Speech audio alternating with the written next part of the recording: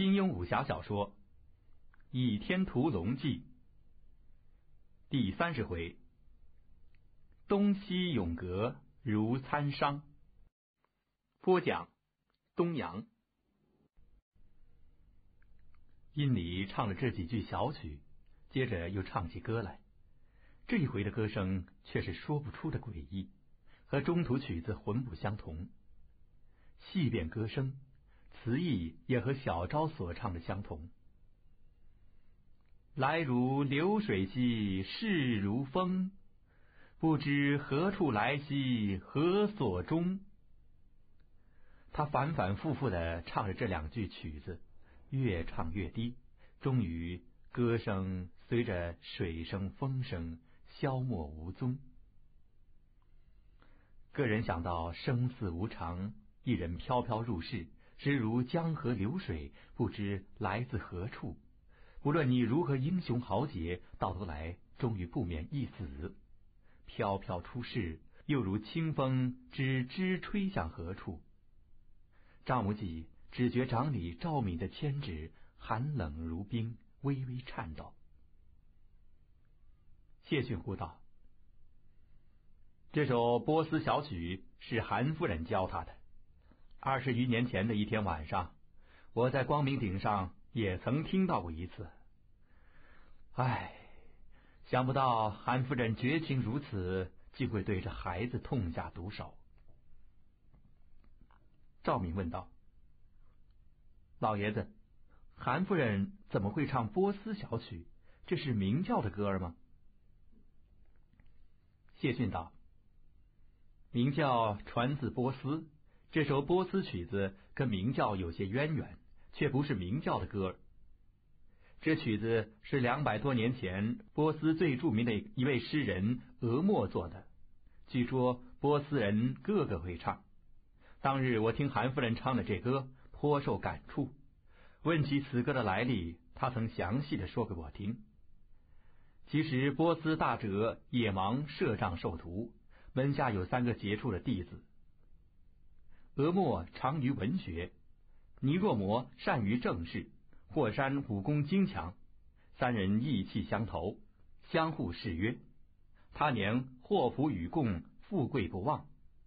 后来尼若摩青云得意，做到教主的手下，他两个旧友前来投奔。尼若摩请于教主，受了霍山的官职。俄莫不愿居官，只求一笔年金。以便静居研习天文历数，饮酒吟诗。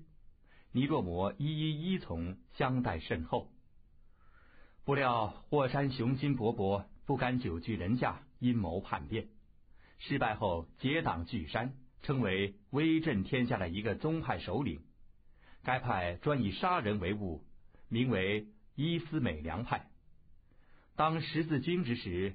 西域提起山中老人霍山之名，无不心惊色变。其实西域各国君王丧生于山中老人手下者不计其数。韩夫人言道：“极西海外有一大国，叫做英格兰。该国国王爱德华得罪了山中老人，被他潜入行刺。国王身中毒刃，幸得王后舍身救夫。”吸取伤口中的毒液，国王方得不死。霍山不顾旧日恩义，更遣人刺杀首相尼若摩。首相临死时口吟俄莫诗句，便是这两句：“来如流水兮，逝如风，不知何处来兮，何所终。”了。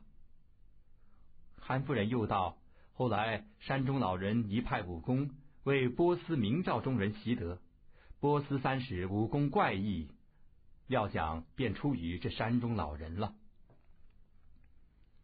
赵敏道：“老爷子，这个韩夫人的信儿，倒像那山中老人。你待他仁至义尽，他却阴谋加害于你。”谢逊叹道：“唉，世人以怨报德，原是寻常的紧呐，岂足生怪。”赵敏低头沉吟半晌，说道：“韩夫人位列明教四王之首，武功却不见高于老爷子呀。昨晚与波斯三使动手之际，他何以又不使千蛛万毒手的毒招？谢逊道：“千蛛万毒手，韩夫人不会使啊！似他这等绝色美人，爱惜容颜过于性命，怎肯练这门功夫？”张无忌、赵敏、周芷若都是一怔，心想：金花婆婆相貌丑陋，从她目前的模样瞧来。即使再年轻三四十岁，也绝技谈不上绝色美人四字。鼻低唇厚，四方脸蛋，耳大招风，这面型是绝技改变不来的。赵敏笑道：“老爷子，我瞧金花婆婆美不到哪里去呀。”谢逊道：“什么？紫山龙王美若天仙，二十余年前乃是武林中的第一美人。”就算此时年事已高，当年风姿仍当仿佛留存呐。唉，我是再也见不到了。赵敏听他说的郑重，隐约觉得其中颇有蹊跷。这个丑陋佝偻的病欧，居然是当年武林中的第一美人，说什么也令人难以置信。问道：“老爷子。”你名震江湖，武功之高，那是不消说的了。白眉鹰王自创教宗，与六大门派分庭抗礼，角逐争雄逾二十年。青翼蝠王神出鬼没，那日在万安寺中威吓于我，要毁我的容貌。此后思之，常有余悸。金花婆婆武功虽高，计谋虽深，但要位列三位之上，未免不称，却不知是何缘故啊。谢逊道：“那是殷二哥、韦四弟和我三人心甘情愿让他的。”赵敏道：“为什么？”突然咯咯一笑，说道：“只因为她是天下第一美人，英雄难过美人关。三位大英雄都甘心拜服于石榴裙下吗？她是番邦女子，不拘尊卑之礼。”心中想到，便肆无忌惮的跟谢逊开起玩笑来。谢逊进不着脑，叹道：“甘心拜服于石榴裙下的，岂止三人而已。其实教内教外，盼获戴启思之青睐者，便说一百人，只怕也说的少了。”赵敏道：“戴启思，那便是韩夫人吗？这名字好怪呀。”谢逊道。他来自波斯，这是波斯名字。张无忌、赵敏、周芷若都吃了一惊，齐声道：“他是波斯人吗？”谢逊奇道：“难道你们都瞧不出来？他是中国和波斯女子的混种，头发和眼珠都是黑的，但高鼻深目，肤白如雪，和中原女子大异，一眼便能分辨。”赵敏道：“不不，他是塌鼻头眯着一段小眼，跟你所说的大不相同啊！张公子，你说是不是？”张无忌道：“是啊，难道他也像苦头陀一样故意自毁容貌吗？”谢逊问道：“苦头陀是谁？”张无忌道。便是明教的光明右使范瑶，当下将范瑶自毁容貌到汝阳王府去卧底之事简略的说了。谢逊叹道：“范兄此举苦心孤诣，大有功于本教，实非常人所能啊！唉，这一半也可说是出于韩夫人之所激呀。”赵敏道：“老爷子，你别卖关子了。”从头至尾说给我们听听吧。谢逊嗯了一声，仰头向天，出神了半晌，缓缓说道：“二十余年前，那时明教在杨教主图拟之下，好生兴旺。这日光明顶上突然来了三个波斯胡人，手持波斯总教教主的手书，叩见杨教主，心中言道：波斯总教有一位敬善使者。”原是中华人士，到波斯后久居其地，入了明教，颇见功勋。娶了波斯女子为妻，生有一女。这位敬善使者于一年前逝世，临死时心怀故土，一命要女儿回归中华。宗教教主尊重其意，遣人将他女儿送来光明顶上，盼中土明教善于照拂。杨教主自是一口答应，请那女子进来。那女子一进厅堂，顿时满堂生辉。但见她容色照人，明艳不可方物。当下向杨教主盈盈下拜之际，大厅上左右光明使、三法王、五散人、五行骑士无不震动。护送他来的三个波斯人在光明顶上留了一宵。翌日便即拜别。这位波斯艳女戴喜斯便在光明顶上住了下来。赵明笑道：“老爷子，那时你对这位波斯艳女便深深钟情了，是不是？不用害羞，老老实实的说出来吧。”谢逊摇头道：“不，那时我正当新婚，和妻子极是恩爱，妻子又怀了孕，我怎会另生他念呢？”赵敏哦了一声，暗悔失言。他知谢逊的妻儿均为成坤所杀，这时无意间提起，不免引起他的伤心，忙道：“对了对了，怪不得韩夫人说，当年她嫁于银叶先生，光明顶上人人反对，只有杨教主和你仍然待她很好。想来杨教主的夫人不但是位美人，而且为人厉害，将丈夫收得服服帖帖的。”谢逊道：“杨教主。”慷慨豪侠，戴启思的年纪竟可做了他的女儿，何况波斯总教教主托他照拂，杨教主待他自是仁至义尽，绝无他念。杨教主夫人是我师父成坤的师妹，是我师姑。杨教主对夫人是十分爱重的。成坤杀他全家，虽然在他心底仇恨愈久愈深。但是提到陈坤的名字之时，他只淡淡的一言带过，便与说到一个常人无异。赵敏道：“苦头陀范瑶，据说当年是个美男子，他对戴喜思定是十分倾心的了。”谢逊点头道：“那是一见钟情呐，终于成为刻骨铭心的相思。其实何止范兄如此。”见到戴启思之美色而不动心的男子，只怕很少。不过明教教规严峻，人人以礼自持，就有谁对戴启思至思慕之臣时，也都是未婚男子。哪知戴启思对任何男子都是冷若冰霜，丝毫不假辞色。不论是谁对他稍露情意，便被他痛斥一顿，令那人羞愧无地，难以下台。我师姑杨夫人有意撮合。想要他与范瑶结为夫妻，戴启思一口拒绝。说到后来，他竟当众横剑自誓，说道他是绝技不嫁人的，如要逼他婚嫁，他宁死不屈。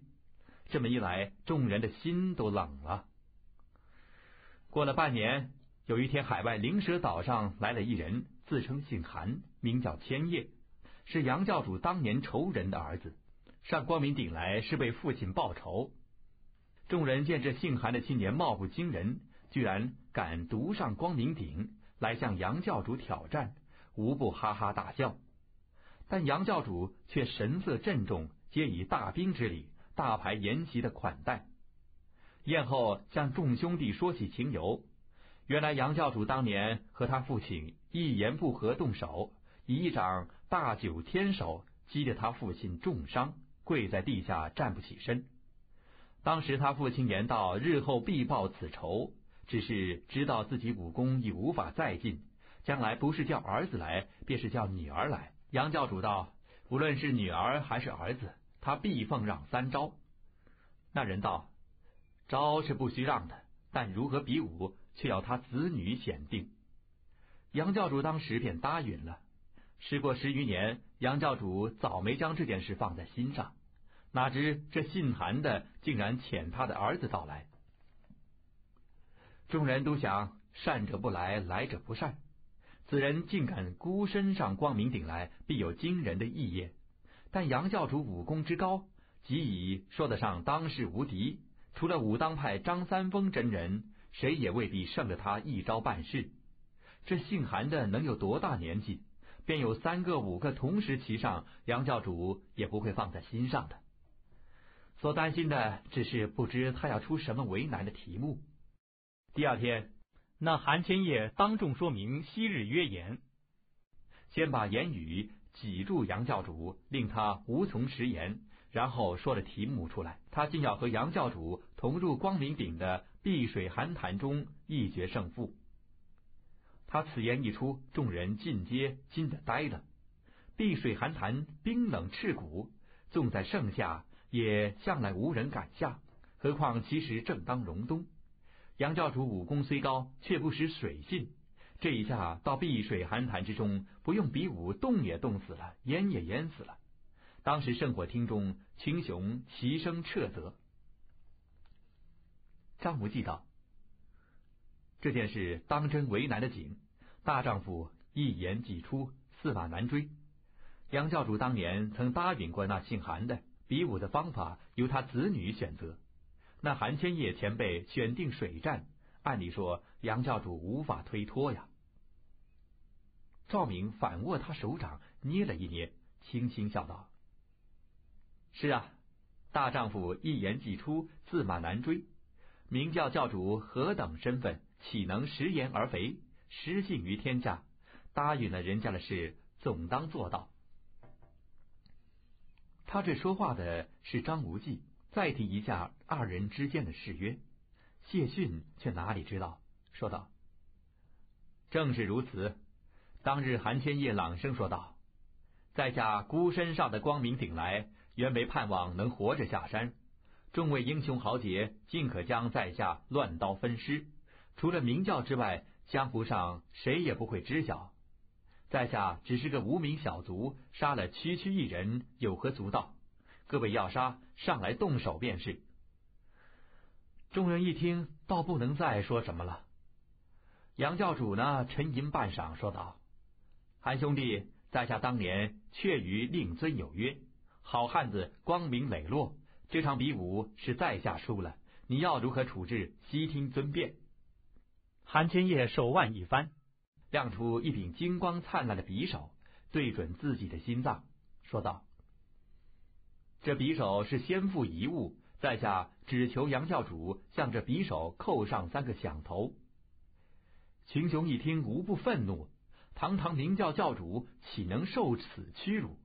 但杨教主既然认输，按照江湖规矩，不能不由对方处置。眼前情势已十分明白。韩千叶此番拼死而来，收了杨教主这三个头后，他势必立即以匕首往自己的心口一插，以免死于明教群豪手下。霎时之间，大厅中竟无半点声息。光明左右使逍遥二仙、白眉鹰王鹰二哥、彭颖玉和尚等人，平素均是足智多谋，但当此难题，却也都是一筹莫展。韩千叶此举。明明是要逼死杨教主，以雪父亲当年重伤跪地之辱，然后自杀。便在这紧迫万分之际，戴启思忽然跃众而前，向杨教主道：“爹爹，他人生下了个好儿子，你难道没生个好女儿吗？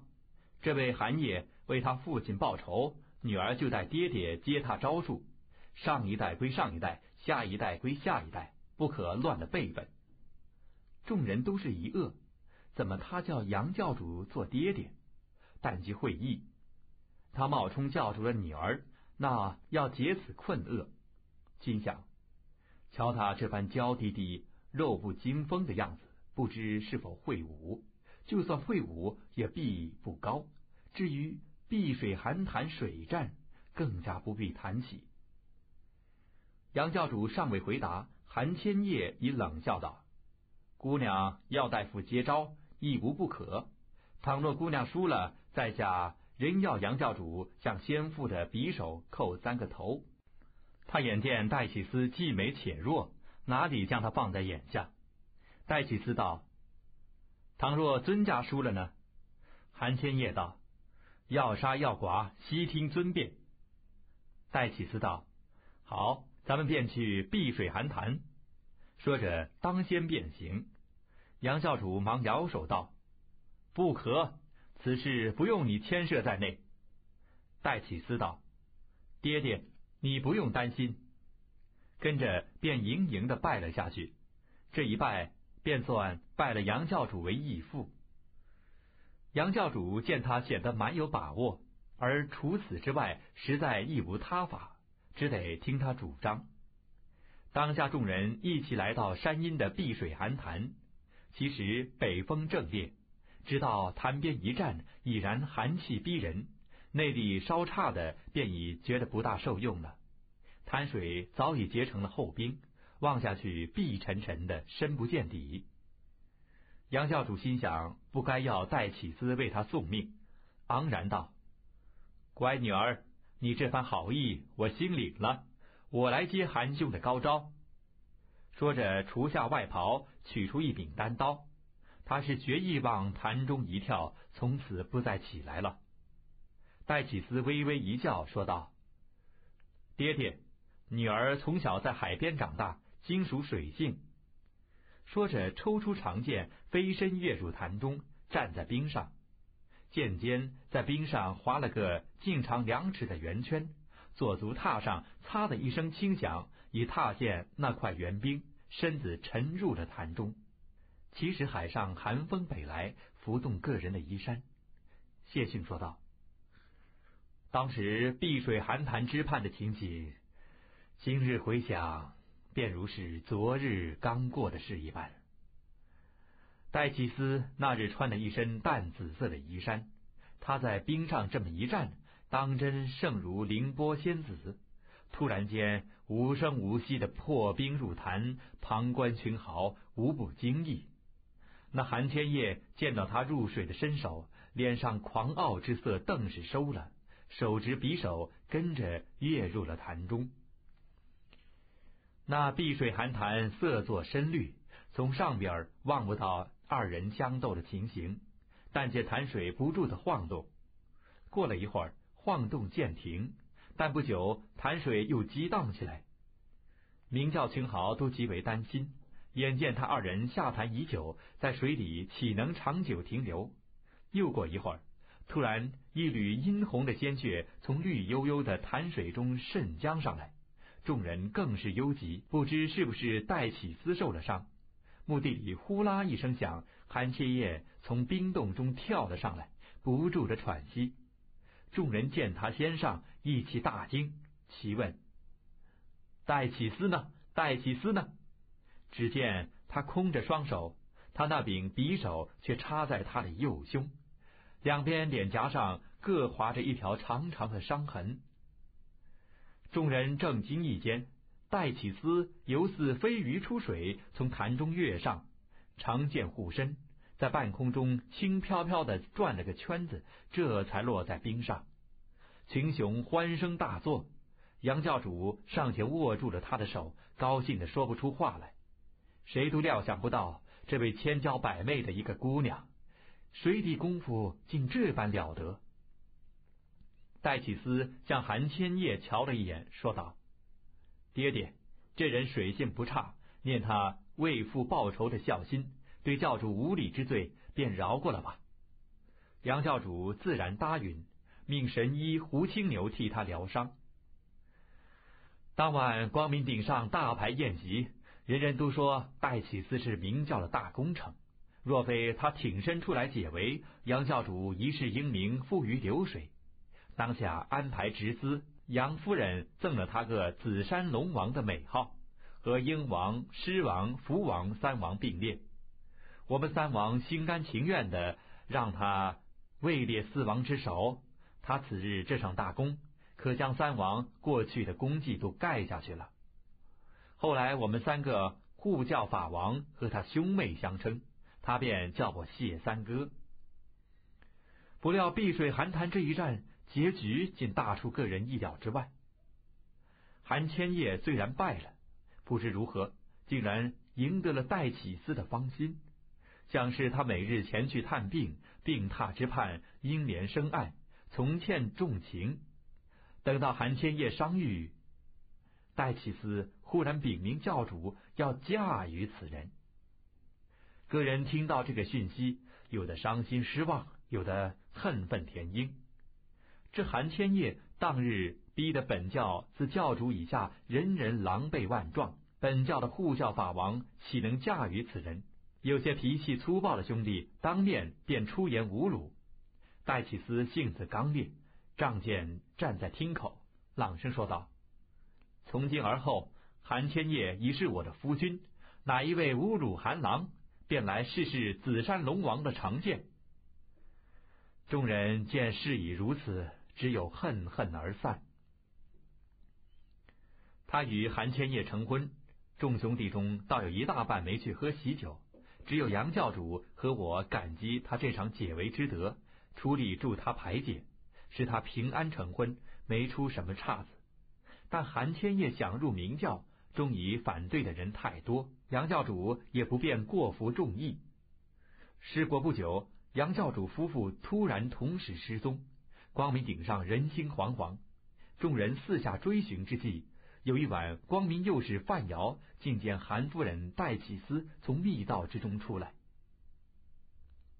张无忌一领，道：“他从密道中出来。”谢逊道：“不错。”明教教规极严，这密道只有教主一人方能去的。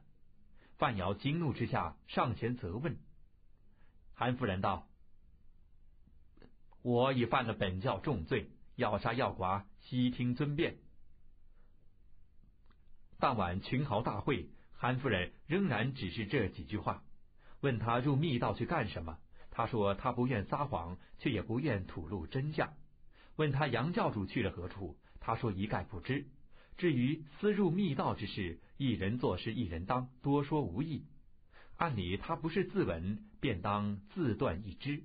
但一来范瑶旧情不忘，竭力替他遮掩；二来我在旁说情，群豪才议定罚他禁闭十年，以思己过。哪知戴启思说道：“杨教主不在此处，谁也管不了我。”张无忌问道：“义父，韩夫人私进密道，却是为何？”谢逊道：“此事说来话长，教中只我一人得知。当时大家疑心多半与杨教主夫妇失踪之事有关，但我力证绝无牵连。光明顶圣火厅中，青豪说的僵了，终于韩夫人破门出教，说到自今而后再与中土明教没什么干系。”他是最先导出明教之人，即日于韩千叶飘然下风，不知所踪。此后教中众兄弟寻觅教主不得，过了数年，为争教主之位，事情越来越糟。白眉英二哥竟又下了光明顶，自创天阴一教。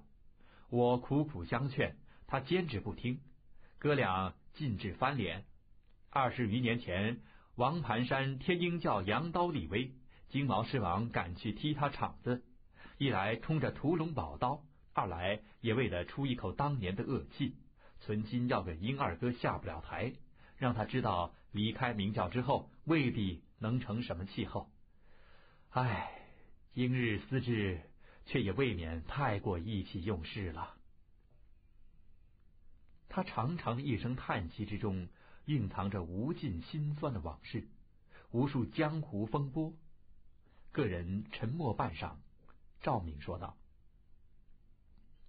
老爷子，后来金花银叶威震江湖，怎的明教中人都认他不出？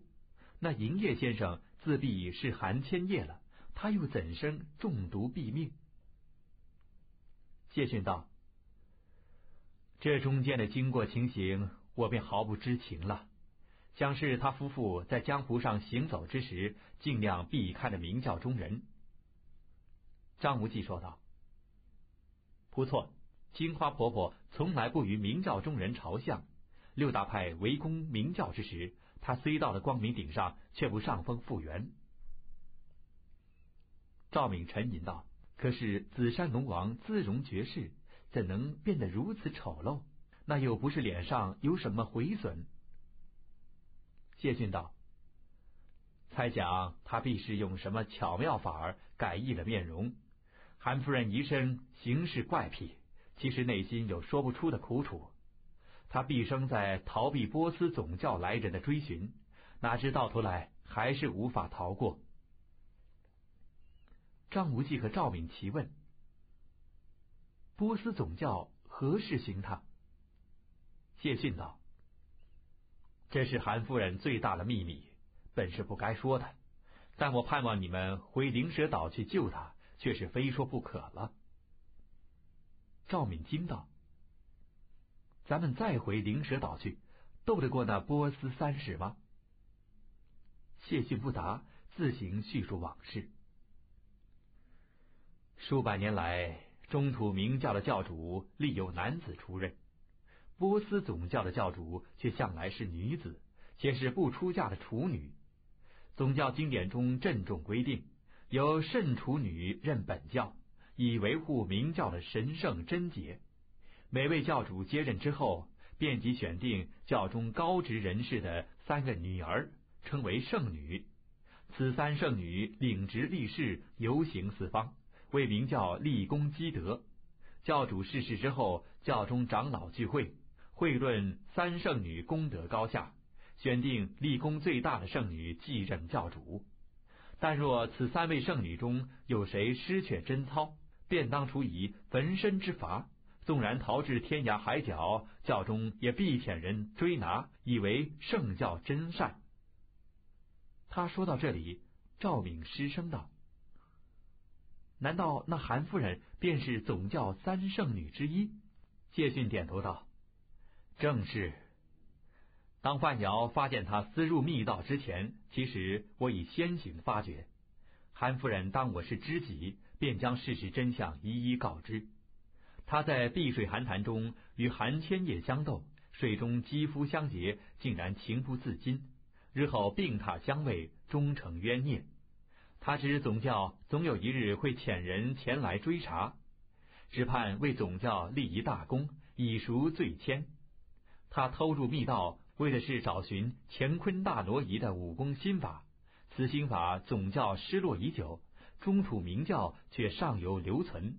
总教遣他前来光明顶，其意便在于此。张无忌啊的一声，隐隐约约的觉得有什么事情颇为不妥，但到底何事，一时却想不明白。只听谢逊道：“韩夫人数次偷入密道。”始终找不到这武功心法，我知其后郑重告诫：此事犯我教中大规，实难宽容。赵敏插嘴道：“啊，我知道了，韩夫人破门出教，为的是要继续偷入密道。他既不是中土明教中人，再入密道便不受拘束了。”谢逊道：“赵姑娘聪明的紧。”但光明顶是本教根本重地，岂容外人任意来去？当时我已猜到了他的用意。韩夫人下山之后，我亲自守住密道口。韩夫人曾私自上山三次，每次都见到我，这才死了这条心。谢逊思索片刻，问道：“那波斯三使的肤色和中土明教可有什么不同吗？”张无忌道：“他们都身穿白袍，袍角上也绣有红色火焰，呃，白袍上滚着黑边这是唯一的小小不同。”谢逊一拍船前，说道：“是了，总教教主逝世，其余之人以黑色为藏服，白袍上镶以黑边，那是服藏。他们要选立新教主，是以万里迢迢的来到中土。”追查韩夫人的下落。张无忌道：“韩夫人既是来自波斯，必当知晓波斯三使的怪异武功，怎的不到一招便给他们制住了？”赵敏笑道：“你笨死了！韩夫人是假装的，她要掩饰自己的身份，自不能露出懂得波斯派武功。依我猜想，谢老爷子。”倘若听从波斯三世的言语，下手杀他，韩夫人当有脱身之计。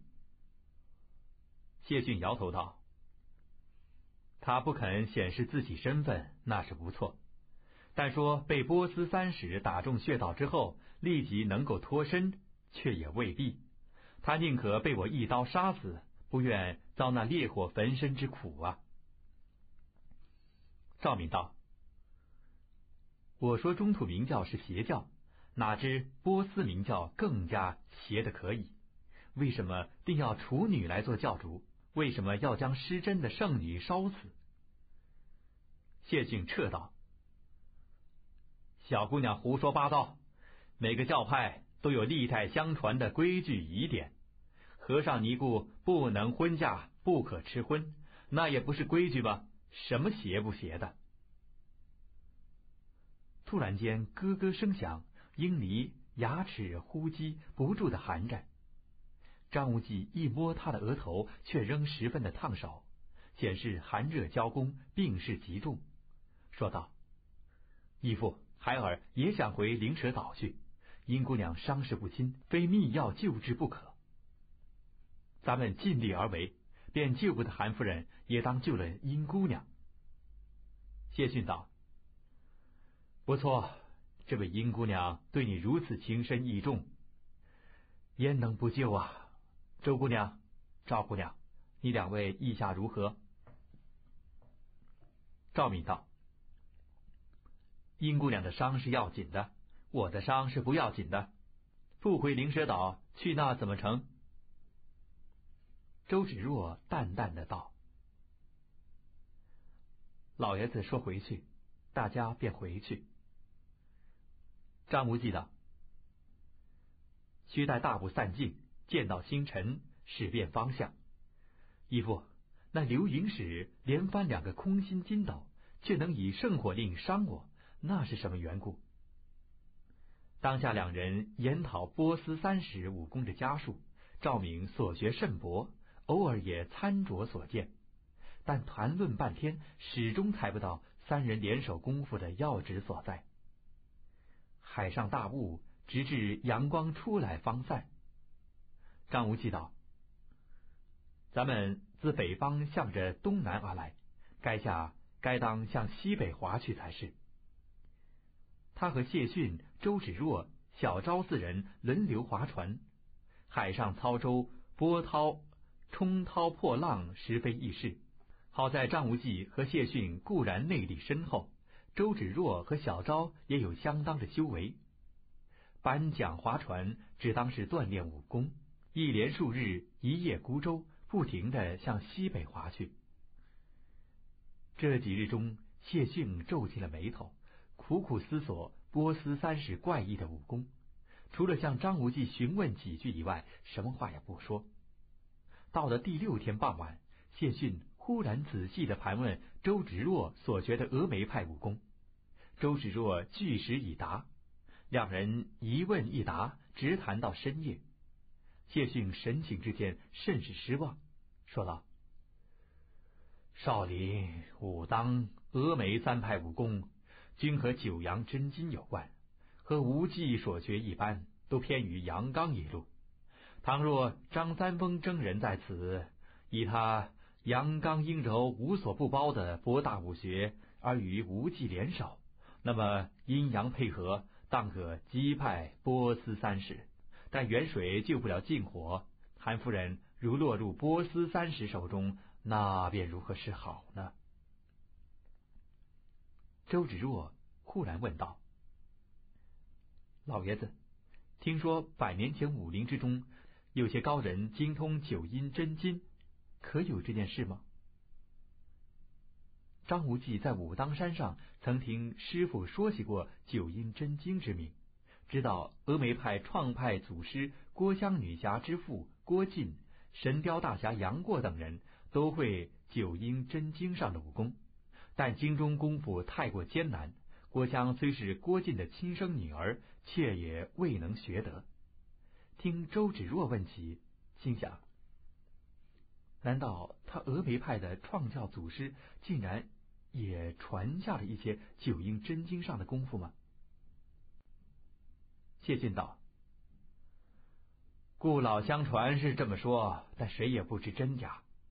听前辈们说的神乎其技。当今如果当有谁学着这门古功，和无忌联手应敌，波斯三十自是应手而除啊！周芷若嗯的一声，便不再问。赵敏问道：“周姑娘，你峨眉派有人会这门武功吗？”周芷若道：“峨眉派若有人具此神功，仙师也不会丧身于万安寺中了。”灭绝师太所以逝世，根源出于赵敏。周芷若对他痛恨已极，日日夜夜风雨同舟，却从来跟他不交一语。此刻赵敏正面相询，便顶撞了他一句。他性格温文，这般说话已是生平对人最不客气的言语了。赵敏却不生气，只笑了一笑。张无忌不住手的板桨，忽然望见远处，叫道：“瞧，瞧，那边有火光。”个人顺着他眼光望去。只见西北角上海天相接之处，微有火光闪动。谢逊虽无法瞧见，心下却和众人一般的惊喜，抄起木桨，用力划船。那火光望去不远，其实在大海之上，相隔有数十里之遥。两人划了大半天，才渐渐的接近。张无忌见火光所起之处，群山耸立，正是灵蛇岛，说道。咱们回来了！谢逊猛地里哎呦一声叫了起来，说道：“为什么灵蛇岛火光烛天？难道他们要焚烧韩夫人吗？”只听得咕咚一声，小昭摔倒在船头之上。张无忌吃了一惊，纵身过去扶起，但见他双目紧闭，已然晕去，忙拿捏他人中穴道，将他救醒，问道。小昭，你怎么了？小昭双目含泪说道：“我听说要将人活活烧死，我我心里害怕。”张无忌安慰道：“这是谢老爷的猜测，未必真是如此。就算韩夫人落入了他们手中，咱们立时赶去，多半还能赶得及相救。”小昭抓住他的手，求恳道：“公子，我求求你，你一定要救韩夫人的性命。”张无忌道：“咱们大伙儿尽力而为。”说着，回到船尾，提起木桨，鼓动内劲，划得比前更快了。小昭抓起木桨，虽是双手发颤，却奋力划水。赵敏呼道。张公子，有两件事，我想了很久，始终不能明白，要请你指教。张无忌听他忽然客气起来，奇道：“什么事儿？”赵敏道：“那日在绿柳庄外，我遣人攻打令外族杨左使各位，是这位小昭姑娘调遣人马抵挡，当真是强将手下无弱兵，明教教主手下一个小小丫鬟。”居然也能有这能耐，真是奇了。谢逊插口问道：“什么明教教主？”赵明笑道：“老爷子，这时候跟你说了吧，你那位义耳公子乃是堂堂明教教主，你反倒是他的属下。”谢逊将信将疑，一时说不出话来。赵敏便将张无忌如何出任教主之事简略的说了一些，但许多细节他也不知。张无忌被谢逊问得紧了，无法再瞒，只得说了六大派如何围攻光明顶，自己如何在密道中获得乾坤大挪移心法等情。谢逊大喜，站起身来，便在船舱之中拜道，说道：“属下金毛狮王谢逊参见教主。”张无忌忙跪倒还礼，说道：“义父不必多礼，杨教主一命，请义父暂设教主之位。孩儿正苦于不克负荷重任，天信义父无恙归来，实是本教之福啊！咱们回到中土之后，教主之位原是要请义父接任的。”谢逊黯然道：“你义父虽得归来，但双目已瞎，无恙两字是说不上的了。明教的首领岂能有失明之人担任？赵姑娘，你心中有哪两件事不明白呀？赵敏道：“我想请问小昭姑娘，那些奇门八卦、阴阳五行之术是谁教的？你小小年纪，怎的会了这一身出奇的本事？”小昭道：“这是我家传武功，不值郡主娘娘一笑。”赵敏又问：“令尊是谁？女儿如此了得，父母必是名闻天下的高手。”小昭道：“家父埋名隐姓，何劳郡主动问？难道你想削我几根指头，逼问我的武功吗？”他小小年纪，口头上对赵敏竟丝毫不让，提到削指之事，更显然意欲挑起周芷若敌忾同仇之心。赵敏笑了笑，转头向张无忌道：“张公子，那晚咱们在大都小酒店中第二次聚会，苦头陀范瑶前来向我作别。他见到小昭姑娘之时，说了两句什么话呀？”张无忌早将这件事忘了，听他提起，想了一会儿，才道：“苦大师好像是说小昭的相貌很像一个他相识之人。”赵明道：“不错，你猜苦大师说小昭姑娘像谁？”张无忌道：“我怎能猜得到？”说话之间，小船离灵蛇岛更加近了。只见岛西一排排的停着大船，每张白帆上都绘了个大大的红花火焰，帆上都悬挂黑色飘带。张无忌皱眉道。波斯总教劳师动众，派来的人可不少啊。赵明道：“咱们划到岛后，捡个隐蔽的所在登陆，别让他们发现了。”张无忌点点头道：“是。”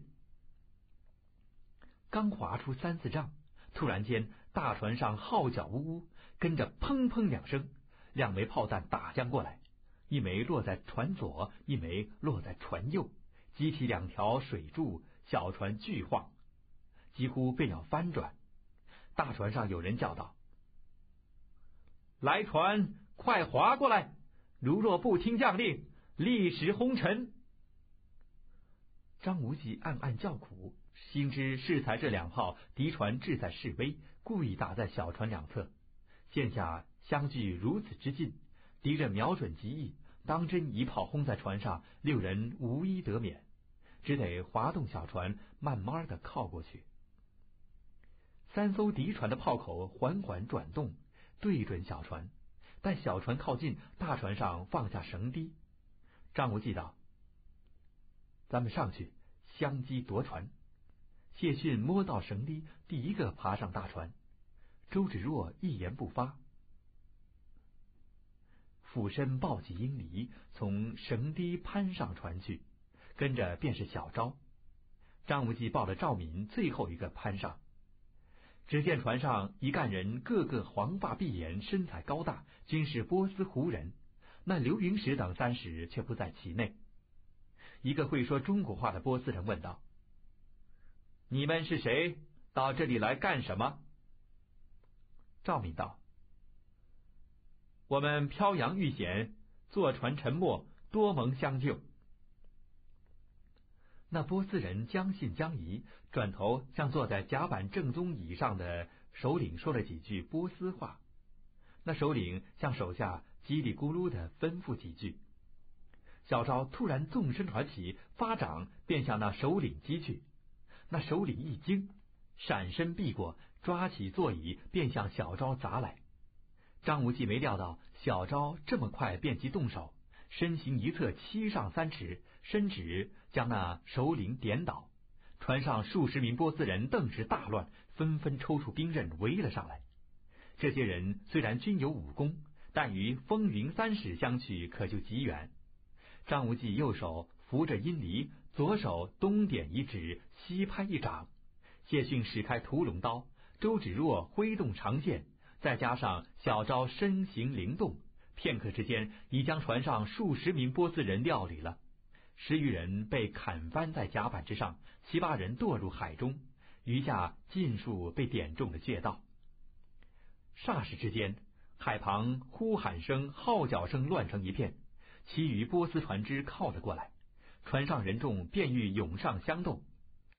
张无忌提起那波斯首领，跃上横横，朗声叫道：“谁敢上来，我便将此人一掌劈死！”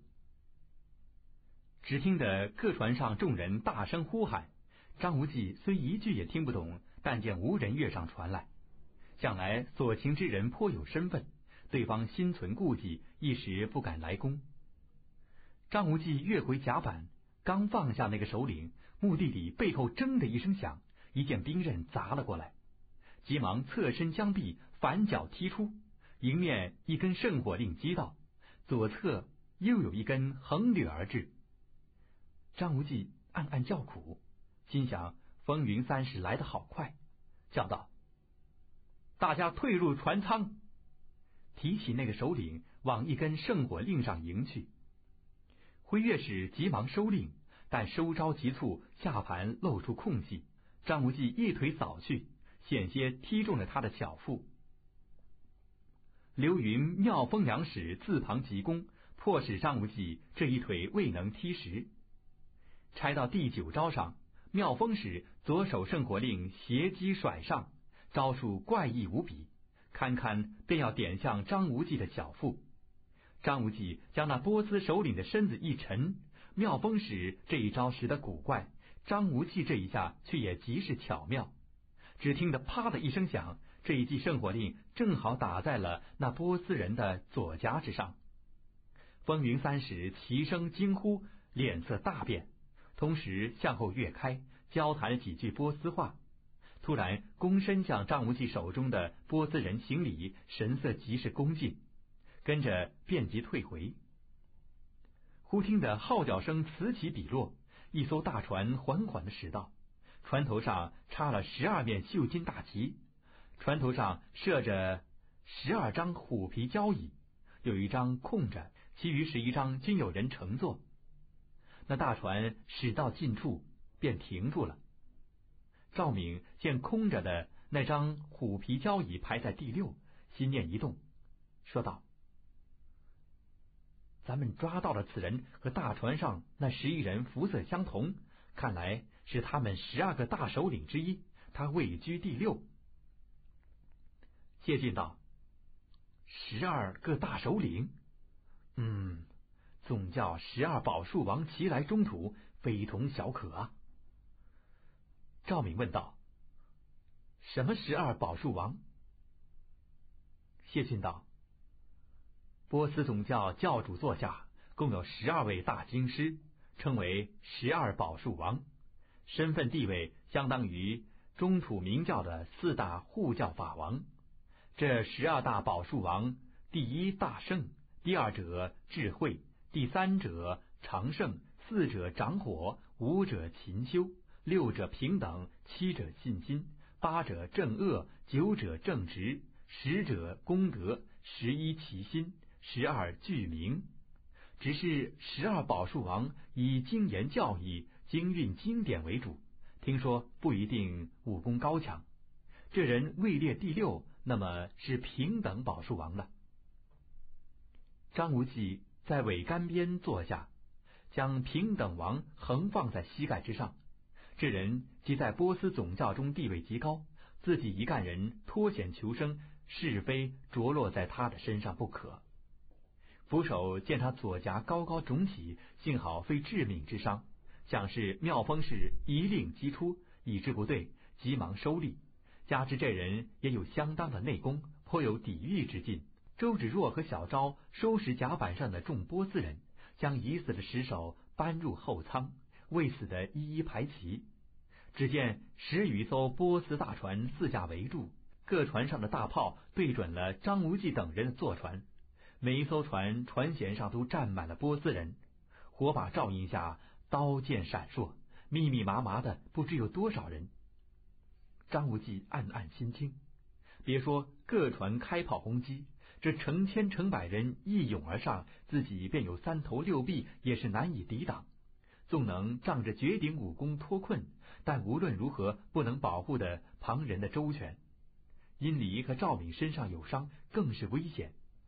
只听得一名波斯人以中国话朗声说道：“金毛狮王听了，我总教十二宝树王俱在此间，你得罪总教之罪。”诸宝树王宽于赦免，你速速将船上诸位总教教友献出，自行开船去吧。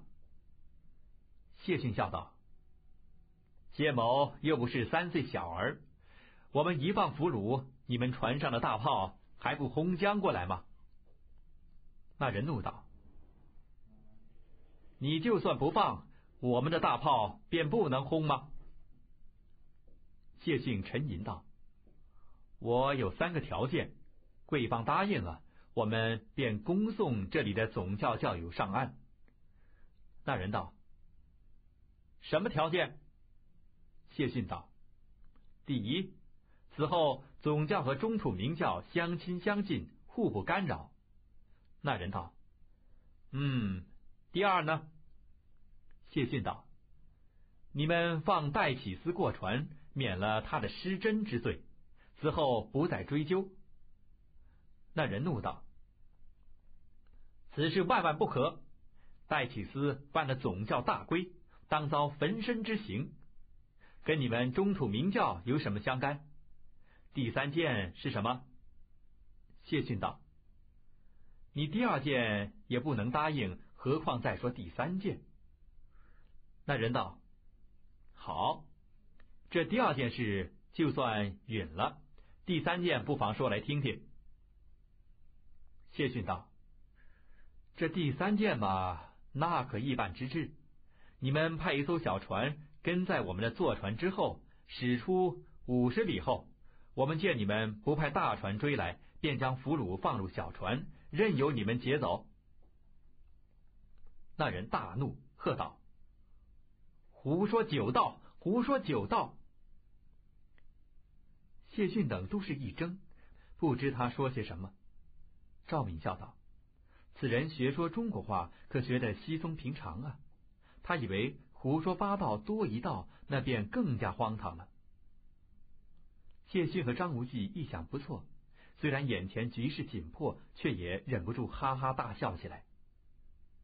这位在胡说八道上加了一道的人物，乃是珠宝树王中位居末座的巨名宝树王。他听着谢逊等嬉笑，更是恼怒，一声呼哨，和位列第十一的齐星宝树王纵身跃上船来。张无忌抢上前去，左掌往齐星王胸口推去，齐兴王进不挡下，伸左手往他头顶抓下。张无忌眼看自己这一掌要先打到他身上，哪知巨明王从斜刺里双掌推到，接过了他这一掌。齐兴王的手指却直抓下来，张无忌向前急冲一步，方得避过，才知他二人攻守联手，便如是四手四脚之人一般。三人迅如奔雷闪电般的拆了七八招。张无忌心下暗惊，这二人比之风云三使稍有不及，但武功仍是十分的怪异。明明和乾坤大挪移的心法极为相似，可是，一到使用出来，总是大为变形，全然无法琢磨。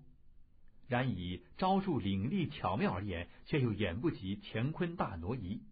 似乎这二人都是疯子，偶尔学到了一些挪移乾坤的武功，觉得既不到家，又是神志混乱，胡踢瞎打，常人反倒不易抵御。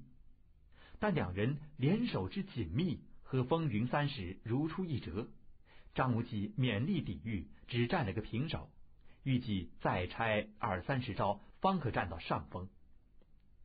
便在此时，风云三使齐声呼啸，又攻上船来，同时趋向平等王，只盼将他抢回，以折免失手击了他一令之罪。谢逊举起平等王，左右挥舞，化成一个个极大的圈子。风云三使这次如何敢贸然欺前？左驱右闪，想找寻空隙攻上。墓地里，旭明王闷哼一声，重腿摔倒。张无忌俯身待要擒拿，刘云史和辉月使双令齐到，妙风使已抱起巨明王跃回己船。这时，齐兴王和云月二世联手，配合已不如风云三世严谨，接连数合，眼见难以取胜。三人几声呼召，便即跃回。张无忌定了定神，说道：“这一干人似乎都学过挪移乾坤之术，偏又学的不像，当真难以应付。”谢逊道：“本教的乾坤大挪移心法，本是源于波斯，但数百年前传入中土之后，波斯本国反而失传，他们所留存的。”据戴启思说，只是些不三不四的皮毛，因此才派他到光明顶来，想偷回心法。张无忌道：“他们武功的根基甚是肤浅，果然只是些皮毛，但运用之际却又十分巧妙。显然中间另有一个重大的关键所在，我没揣摩得透。嗯，那挪移乾坤的第七层功夫之中，有一些我没练成，难道？”便是为此吗？说着，坐着甲板之上，抱头苦思。谢逊等均不出声，生怕扰乱了他的思路。忽然间，小周“哎呦”一声惊呼，张无忌抬起头来，只见风云三使压着一人走到了十一宝树王之前。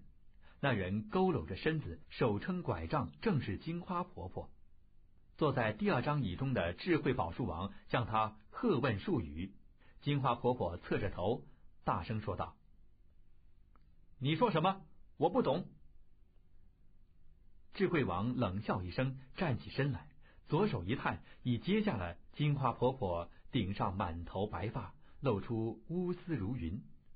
金花婆婆头一侧，向左避让，智慧王右手如出。竟在他脸上揭下一层面皮下来。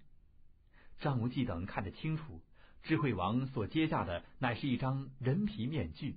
刹那之间，金花婆婆变成了一个肤如凝脂、杏眼桃腮的美艳妇人，容光照人，端丽难言。戴启思被他揭穿了本来面目，索性将拐杖一抛，只是冷笑。智慧王说了几句话。他便以波斯话对答，二人一问一答，但见十一位宝树王的神色越来越是严重。赵敏呼道：“小昭姑娘，他们说些什么？”小昭流泪道：“你很聪明，你什么都知道，却干什么？事先不阻止谢老爷子别说。”赵敏奇道：“阻止他别说什么？”小昭道：“他们本来不知金花婆婆是谁，后来知道她是紫山龙王了。但绝计想不到，紫山龙王便是圣女戴启思。婆婆一番苦心，只盼能将他们骗倒。谢老爷子所提的第二个条款，却要他们释放圣女戴启思。虽是好心，可就瞒不过智慧宝树王了。谢老爷子目不见物，自不知金花婆婆装的多像，任谁也能瞒过。”赵姑娘，你却瞧得清清楚楚，难道便想不到吗？其实赵敏听了谢逊在海上所说的故事，心中先入为主，认定金花婆婆便是波斯明教的圣女戴启思，一时可没想到，在波斯诸人眼中，她的真面目却并未揭破。他待要反唇相讥，但听小昭语音十分悲苦。隐隐已料到他和金花婆婆之间必有极不寻常的关联，不忍再出重言，知道小昭妹妹，我确实没想到，若是有意加害金花婆婆，叫我不得好死。谢逊更是欠这，当下一句话也不说，心中打定了主意，宁可自己性命不在，也得相救戴启思出钱。小昭气道。他们责备金花婆婆，说她既嫁人又叛教，要要烧死她。张无忌道：“小昭，你别着急，一有可乘之机，我便冲过去救婆婆出来。他叫惯了婆婆，其实此时条紫山龙王的本来面目，虽已中年，但风姿俨然，实不减于赵敏、周芷若等人，倒自是小昭的大侄子。小昭道：“不，不，十一个宝树王，再加风云三十，你斗他们不过的。不过枉自送了性命。他们这时在商量如何夺回平等王。”赵敏恨恨的道：“，这平等王便活着回去，脸上印着这几行字，愁也愁死了。”张无忌问道：“什么脸上印着字？”赵敏道：“那黄胡子使者的圣火令一下子打中了他的左颊。”啊，小昭突然想起一事，问道：“小赵妹子。”你识波字字吗？小昭道：“是的。”赵敏道：“你快瞧瞧，这平等王脸上印着的是什么字？”小昭搬起平等王上身，侧过他的头来，只见他左颊高高肿起，三行波斯纹深印肉里。原来每根圣火令上都刻着有文字。妙风使误击平等王，竟将圣火令上的文字印在了他的肌肉上了。只是圣火令着肉处不过两寸宽、三寸长，所印文字残缺不全。小昭跟随张无忌连入光明顶密道，曾将乾坤大挪移心法背诵几遍。虽然未得张无忌吩咐，自己未曾习练，但这武功的法门却记得极熟。其实张无忌在密道中炼至第七层心法时，遇有疑问，跳过费解之处不练。小昭曾一一记诵。这时看了平等王脸上的文字，不禁脱口而出：“那也是乾坤大挪移心法。”张无忌奇道：“你说是乾坤大挪移心法？”小昭道：“不不不是，我初始一见以为是了。”却又不是，译成中国话，意思是这样的：应左则前，虚右乃后，三虚七实，无中生有。什么天方地圆？下面的看不到了。这几句寥寥十余字的言语，张无忌乍然听闻，犹如满天乌云之中，骤然间见到电光闪了几闪。虽然电光过后，四下里仍是一团漆黑，但这几下电闪已让他在雾里浓雾之中看出了出路。口中喃喃念道：“应左则前，须右乃后。”竭力想将这几句口诀和所习乾坤大挪移的武功配合起来，隐隐约约的似乎想到了，但似是而非，终究不对。忽听得小昭叫道。公子，留神！他们已传下号令，风云三十要来向你进攻。秦修王、镇恶王、功德王三王来抢平等王。谢逊当即将平等王身子横举在胸前，把屠龙刀抛给张无忌，说道：“你用刀猛砍便是。”赵敏也将倚天剑交给了周芷若。此刻同舟共济，并肩迎敌要紧。张无忌接过屠龙刀，心不在焉的往腰间一插，口中仍在念诵“三虚七实，无中生有”。赵敏急道：“小呆子，这当儿可不是参详武功的时候，快预备迎敌要紧。”一言普毕，秦修、镇恶、功德三王已纵身过来。伸掌向谢逊攻去，他三人生怕伤了平等王，是以不用兵刃，只使拳掌。只要有一人抓住了平等王的身子，便可出力抢夺。周芷若守在谢逊身旁，每逢事急，挺剑便向平等王身上刺去。秦修王、镇恶王等不得不出掌向周芷若相攻，以免他手中利剑刺中了平等王。那边厢，张无忌又和风云三使斗在一起。他四人数次交手，各自吃过对方的苦头，谁也不敢大意。数合之后，辉月使一定打来，依照武学的道理，这一招必须打在张无忌的左肩。哪知圣火令在半途古里古怪的转了个弯，啪的一响，竟打中了在他的后颈。张无忌一阵剧痛，心头却顿时雪亮，大叫：“应左则后，应左则后！对了，对了！”顷刻间已然醒悟，风云三十所会的只不过是挪移乾坤第一层中的入门功夫，但圣火令上。却另刻有诡异的变化用法，以致平添奇幻。他心念一转之间，小昭所说的四句口诀已全然明白，只是天方地圆什么的还无法参悟。心想，须得看其圣火令上的刻字，方能通晓波斯派武功的精要。他突然间一声轻笑，双手擒拿而出。三虚七实，已将辉月使手中的两枚圣火令夺了过来。无中生有，又将流云使的两枚圣火令夺到。两人一呆之际，张无忌已将四枚圣火令揣入怀中，双手分别抓向两人的后领，将两人掷出。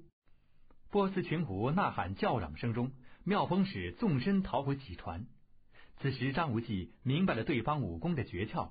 虽然所解的仍极为有限，但妙风使的武功在他眼中已全无神秘可言。右手一探，已抓住他的左脚，硬生生的将他在半空中拉了回来。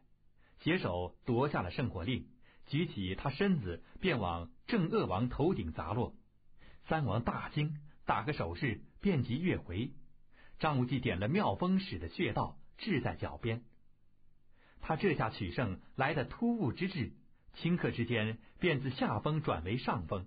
赵明等无不惊喜，齐问缘由。张无忌笑道：“若非阴差阳错，平等王脸上吃了这一家伙，那可糟糕的紧了。小周，你快将这六根圣火令上的字译给我听，快快！”个人瞧着六枚圣火令时，但见非金非玉，质地坚硬无比。六令长短大小各不相同，似透明非透明。令中隐隐似有火焰飞腾，实则是令质映光，颜色变幻。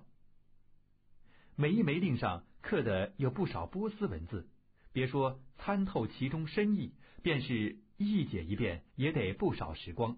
但张无忌心知欲脱眼前之困，非探明波斯派武功的总源不可，向周芷若道。周姑娘，请你以倚天剑架在平等王的颈中；义父，请你以屠龙刀架在妙风使的颈中，尽量拖延时刻。谢逊和周芷若点头答应。小昭拿起六枚圣火令，见最短的那一枚上文字最少，又是黑油油的，最不起眼，便将其上的文字一句句的一解出来。张无忌听了一遍，却一句也不懂，苦苦思索。丝毫不明其意，不由得大急。赵敏道：“小昭妹子，你还是先解打过平等王的那根圣火令吧。”这一言提醒了小昭，忙核对圣火令上的文字，见是刺长的那一根，当即一解其意。这一次，张无忌却懂了十之七八。待得一根解完，再解最长那一根时，张无忌只听着几句，气道：“小赵，这六枚圣火令上的文字越长的越浅，这一根上说的都是入门功夫。原来这六枚圣火令乃当年波斯山中老人霍山所著，刻着他毕生武功的精要。六枚圣火令和明教同时传入中土，相为中土明教教主的令符。”年深日久之后，中土明教已无人识得波斯文字。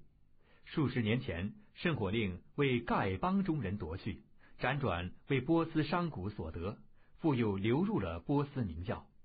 波斯总教钻研其上文字，数十年间，教中职分较高之辈，人人武功陡进。只是其上所记武功博大精深，便是修为最高的大圣宝树王，也只学得三四成而已。至于乾坤大挪移心法，本是波斯明教的护教神功，但这门奇妙的武功却不是常人所能修习。波斯明教的教主规定又需由处女担当。百年间接连出了几个庸庸碌碌的女教主，心法传下来的便十分有限，反倒是中土明教上留着全分。波斯明教以不到一成的旧传乾坤大挪移武功和两三成新得的圣火令武功相结合，变成一门古外奇诡的功夫出来。张无忌盘膝坐在船头。小昭将圣火令上的文字一句句的译于他听。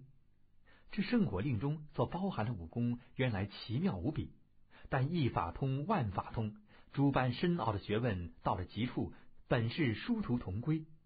张无忌深明九阳神功、挪移乾坤以及武当派太极拳的全理。圣火令上的武功虽奇，究不过是旁门左道之学而达于巅峰而已。说到宏广精深，远远不及上述三门武学。张无忌听小昭译完六枚圣火令上的文字，仓促间只记得了七八成，所明白的也只五六成。但仅此而言，宝树诸王和风云三使所显示的功夫，在他眼中已是了如指掌，不值一晒了。时光一刻一刻的过去，他全心全意的浸润于武学的钻研之中。无暇顾及身外之物，但赵敏和周芷若等却焦急万状。眼见戴启思手脚之上都加上了镣铐，眼见十一宝树王计头密翼，眼见十一王脱下长袍换上软甲，眼见十一王的左右乘上十一件奇形怪状的兵器，眼见前后左右一艘艘船上排满了波斯胡人，眼见这些胡人弯弓搭箭，将箭头对准了自身。眼见十名波斯人手执斧凿跳入水中，只待首领令下，便来凿沉己方的坐船。只听得居中而坐的大圣宝树王大喝一声，四面大船上鼓动雷响，号角齐鸣。张无忌吃了一惊，抬起头来，只见十一宝树王各披灿烂生光的金甲，手执兵刃跳上船来。谢逊和周芷若分执刀剑。架在平等王和妙风使的井中，十一王见此情景，跳上船头之后，却也不敢变死逼近，环成半月形，虎视眈眈，伺机而动。周芷若、赵敏等见这十一王形象狰狞，身材高大，心下都甚是害怕。智慧王以中国话说道：“尔等快快送出我方教友。”便可饶尔等不死。这几个教友在五人眼中犹如猪狗一般，尔等用刀架在鄙人颈中，又有何用？尔等有胆，尽可将鄙人杀了。波斯圣教之中，此等人成千成万，杀之一两个有何足惜？赵敏说道：“尔等不必口出大言，欺骗五人。五人之席。”这二人，一个乃平等宝树王，一个乃妙风使，在尔等明教之中地位甚高者。尔等说鄙人犹如猪狗一般，而言差矣，大大之差矣。那智慧王所说的中国话是从书本上学来，尔等鄙人云云，大为不伦不类。赵敏模仿他的声调用语，谢逊等听了，虽然身处危境，却也忍不住的微笑。智慧王眉头一皱，说道：“圣教之中共有三百六十位宝树王，平等王排名第三百五十九，五人有使者一千二百人。这妙风使武功平常，毫无用处。尔等快快将鄙人杀了。”赵明道：“很好，很好。手执刀剑的朋友，快快将这两个无用之人杀了。”谢逊道：“遵命。”举起屠龙刀，呼的一声，便向平等王的头顶横劈过去。众人惊呼声中，屠龙刀从他头顶掠过，距头盖不到半寸，大片头发切削下来，被海风一吹，漂浮空中。谢逊手臂一提，左一刀，右一刀，向平等王两肩砍落。眼看每一刀均要切掉他的一条臂膀。但刀锋将要及身，便手腕微偏，将他双臂衣袖切下了一片。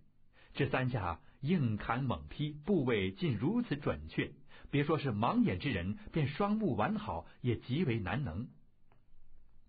平等王死里逃生，吓得几欲晕去。十一宝树王风云三使目瞪口呆，瞧舌不下。赵敏说道：“尔等已见识了中土明教的武功。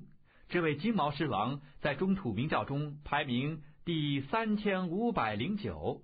尔等倘若示众取胜，中土明教日后必去波斯报仇，扫荡尔等总坛，尔等必定抵挡不住。还是及早两家言和的为是。”智慧王明知赵敏所言不实，但一时却也无计可施。那大圣宝树王忽然说了几句话，小昭叫道：“张公子，他们要着船了。”张无忌心中一灵，倘若坐船沉了，诸人不识水性，非束手成擒不可。身形一晃，已骑到了大圣王的身前。智慧王喝道：“儿干什么？”两旁，功德王和掌火王手中的一鞭一锤同时砸将下来。此时，张无忌早已熟识波斯派的武功，不躲不闪，双手伸出，已抓住了两王的咽喉。只听得“当”的一声响，功德王的铁鞭和掌火王的八角锤相互撞击，火花飞溅，两人已被他抓住咽喉要穴，横拖倒拽的拉了过来。混乱之中，张无忌连环踢出四腿，两脚踢飞了齐兴王和镇恶王手中的大砍刀，又两脚将秦修王和巨明王踢入水中。只见一个身形高瘦的宝树王扑将过来，双手各执短剑刺向张无忌的胸口。张无忌又飞起一脚踢他手腕，那人双手突然交叉，刺向张无忌的小腹。这一招变得灵动之极。张无忌急忙跃起，方使避过。原来此人是长胜宝树王，于波斯总教十二王中武功第一。张无忌捏毙了功德王和掌火王的穴道，将两王抛入船舱，柔身而上，和长胜王手中的双剑搏击。此人虽然同是十二王之一，但武功之强与余王大不相同。张无忌攻三招，守三招，三进三退。暗暗喝彩，好一个了得的波斯胡人！他明白了圣火令上的武功心法之后，未经练习，便遭逢强敌，当下一面记忆思索，一面和长胜王搏斗。最初十余招间，仗着内力深厚，招数巧妙，保持个不胜不败之局。到了二十余招后，圣火令上的秘诀用在乾坤大挪移功夫上，越来越是得心应手。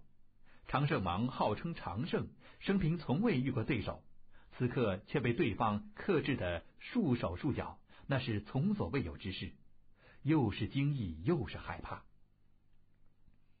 斗到三十余招，张无忌踏上一步，忽的在甲板上一坐，已抱住了长胜王的小腿。这招怪异的法门原为圣火令上所记，但已是极高深的功夫。长胜王虽然知道，却从不敢用。张无忌一抱之下，食指扣住了他小腿上的中都、驻兵两穴，都是中土武功的拿穴之法。长胜王只觉下半身酸麻难动，长叹一声，束手就擒。张无忌呼起爱才之念，说道：“尔等武功甚佳，与保全尔的英名，快快回去吧。”说着，双手放开。长胜王又是感激又是羞愧，跃回坐船。大圣王见长胜王苦战落败，功德王和掌火王又失陷敌手，就算将敌人坐船凿沉，投鼠忌器，平等王等四人非丧命不可。当下一声号令，呼召众人回归己方坐船。赵明朗声说道：“尔等快快将戴启思送上船来。”答应金毛狮王的三个条件，余下九名宝树王低声商议了一阵。智慧王道：“要答应尔等条款，也无不可。这位年轻公子的武功，明明是五人波斯一派，比从何处学得？五人有点不明不白。”赵明忍住了笑，庄荣说道：“尔等本来不明不白，不清不楚，不干不净，不三不四。这位年轻公子是本教光明使座下的第八位弟子，他的七位师兄、七位师弟不久便到。那时候彼等七上八落，尔等便不以乐乎？呜呼，哀哉了！”智慧王本极聪明，但华语艰深。赵敏的话，他只懂得七八成。听知他在大吹法螺，微一沉吟，便道：“好，将戴启思送过船去。”两名波斯教徒架起戴启思，送到张无忌的船头。周芷若长剑一正，叮叮两声，顿时将他手上的镣铐切断了。那两名波斯教徒见此剑如此锋利，吓得打个寒战，急忙跃回船去。智慧王道：“尔等快快开船回归中土，五人只派小船跟随尔等之后。”张无忌抱拳说道：“中土名叫原出波斯，而我情若兄弟，今日一场误会，尽盼各位不可介意。日后请上光明顶来，双方。”杯酒言欢，得罪之处，兄弟在这里谢过了。智慧王哈哈笑道：“而武功甚佳，五人极是佩服。学而时习之，不以悦夫；有朋至远方来，不以悦夫；七上八落，不以悦乎？”张无忌等起初听他掉了两句书包，心想此人居然知道孔子之言，倒是不易。不料接下去竟是学着赵敏说过的两句话，忍不住都大笑起来。赵敏道：“儿的话说的很好，人之异于波斯人者几希？祝尔等多福多寿，来个来枪，或言监考无疾而终。”智慧王懂得“多福多寿”四字的意思，料想下面的也均是祝祷之词，笑吟吟的连声说道。多谢多谢，张无忌心想，赵敏说的高兴起来，不知还有多少刁钻古怪的话要说。身居虎狼之群，夜长梦多，还是及早脱离险境为是。当下拔起铁矛，转过船舵，扯起风帆，将船缓缓的驶了出去。四周船上的波斯人见他起锚撤帆，一个人做了十余名水手之事，神力惊人，尽皆喝彩。只见一艘小船抛了一条缆索过来，张无忌将那缆索附在后梢，拖了小船渐渐远去。小船中坐着二人，一男一女，正是刘云使和辉月使。张无忌掌着船舵向西行驶，见波斯各艘大船并不追来。驶出数里，远眺灵蛇岛旁诸船已小步一尺，仍然停着不动，这才放心。当下要小昭过来掌舵，到舱中查看殷离的伤势。见他兀自迷迷糊糊的，半睡半醒，虽然未见好转，病情却也并没有更恶。心想，待会在这波斯大船之中，或可寻到药物。戴启思站在船头眼望大海，听到张无忌走上甲板，却不回头。张无忌见他背影妙曼，秀发飘浮，后颈肤若白玉。谢逊说他当年乃武林中第一美人，此言当真不虚。遥想光明顶上碧水潭畔，紫山如画，长剑胜雪，不知倾倒了多少英雄豪杰。航到傍晚。算来离灵蛇岛已近百里，向东望去，海面上并无片帆之影。波斯总教显示在要挟之下，不敢追来。张无忌道：“义父，咱们可放了他们吧。”谢逊道：“好吧，他们便是要追，也追不上了。”张无忌解开平等、功德、掌火三王及妙风使的穴道，连声致歉，放他们跃入拖在船梢的小船中。妙风使道：“这圣火六令是五人掌管，失落后其罪非小，也请一臂交还。”谢逊道：“圣火令是中土明教主的令符，今日物归原主，如何能再让你们劫去？”妙风使絮絮不休，坚要讨还。张无忌心想，今日须得折服其心，免得日后更多后患，说道：“我们便交还于你，你本领太低，还是无法保有。与其被外人夺去，还是存在明教手中的好。”妙风使道：“外人怎能随便夺去？”张无忌道：“你若不信，那就试试。”将六根圣火令交给了他，妙风使大喜，刚说了一声多谢，张无忌左手轻勾，右手一引，已将六根圣火令一起夺了过来。妙风使大吃一惊，怒道：“我尚未拿稳，这个不算。”张无忌笑道：“再试一次，那也无妨。”又将圣火令还了给他。妙风使先将四枚圣火令揣入怀中。手中执了两根，见张无忌出手来夺，左手一令往他手腕上砸将下来。张无忌手腕一翻，已抓住了他的右臂，拉着他手臂迎将上去，双令交击，铮的一声响，震得人心惊摇动。张无忌浑厚的内力从他手臂上传将过去，这一击之下，妙风使两臂酸痛，全身乏力，便如瘫痪。撤手将圣火令抛在了甲板之上。张无忌先从他怀中取出四枚圣火令，又拾起甲板上的两枚，说道：“如何？是否再要试一次？”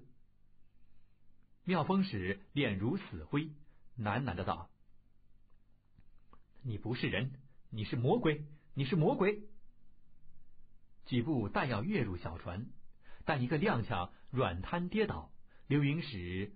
越江上来，抱了他过去。小船上扯起风帆，功德王拉住船缆，双手一拉，啪的一响，船缆崩断，大小二船顿时分开。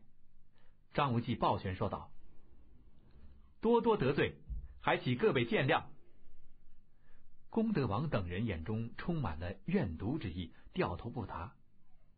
大船乘风西去，两船渐距渐远。忽听得戴启思撤道：“贼子赶儿！”纵身而起，跃入海中。张无忌吃了一惊，急忙转舵。只见一股血水从海中涌了上来，跟着不远处又涌上一股血水，顷刻间共有六股血水涌上。呼啦一响，戴启思从水中钻出，口中咬着一柄短刀，右手抓住一个波斯人的头发。踏水而来，张无忌忙转舵将船迎去，但那船船身太大，顾得了转舵，顾不得落帆，一时在海中慢慢的打转。紫山龙王在海中结若游鱼，不多时游到船旁，左手在船边铁锚的锚爪上一借手，身子飞起，连着那波斯人一起上了甲板。众人心下了然，知道波斯人暗藏祸心。待功德王等一干人过了小船，扯起风帆作为遮掩，暗放熟识水性之人潜到大船之旁，意图凿沉张无忌等的坐船。亏得紫山龙王见到船旁潜水人吐起的水泡，跃入海中杀了六人，还擒着一名活口。正在审问那潜水波斯人，墓地里船尾轰隆一声巨响，黑烟弥漫，船身震荡，如中炮击。后梢上木片纷飞，张无忌等只感一阵的炙热，忙一齐伏低。戴启思叫道：“好奸恶！”抢到后梢，只见船尾炸了一个大洞，船舵已飞得不知去向。破洞中海水滚滚涌入。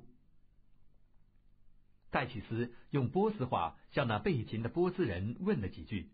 手一起掌，将他天灵盖击得粉碎，跌入大海中，说道：“我只发觉他们凿船，没料到他们竟在船尾绑上了炸药。”这时，功德王等人所撑的小船早已去得远了，戴启思水性再好，也已无法追上。